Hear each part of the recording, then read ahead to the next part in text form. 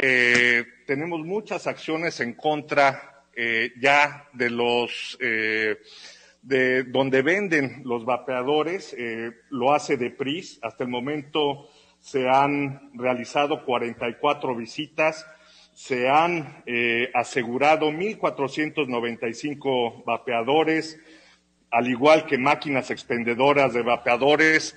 Bueno, ¿qué es lo que pasa con el vapeador? Provoca EPOC y fibrosis pulmonar.